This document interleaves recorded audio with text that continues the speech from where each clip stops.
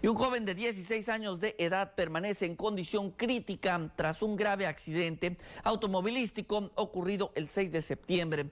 Se recomienda discreción debido a que esta historia contiene detalles e imágenes sensibles. Nuestra reportera Miriam Ordóñez nos tiene más información sobre su estado.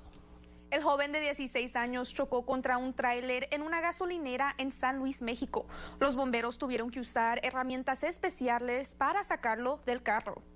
Este video fue compartido por la familia y muestra el momento exacto en que ocurrió el accidente. Su hermano mayor comparte el alivio de la familia al saber que su hermano sobrevivió el choque.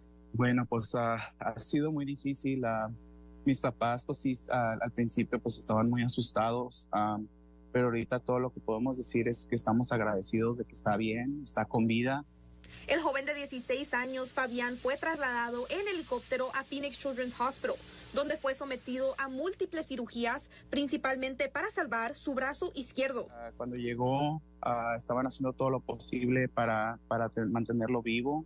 Ah, como las lesiones que tuvo en su brazo eran muy mayores, desde el viernes tienen, han estado los doctores trabajando muy duro, cirugía tras cirugía, básicamente para tratar de intentarle salvar el brazo. La familia de Fabián ha creado una página de GoFundMe para ayudar a cubrir sus gastos médicos y los costos para que su familia pueda acompañarlo durante su recuperación. Su hermano nos da una actualización sobre el estado actual de Fabián. No, había otra, otra manera de poder salvar el brazo y lo mejor, la mejor decisión para él era básicamente amputar y ahorita lo único que, podemos hacer es estar con, ah, con la esperanza de, de ayudarlo a lo mejor posible que podamos estar unidos como familia.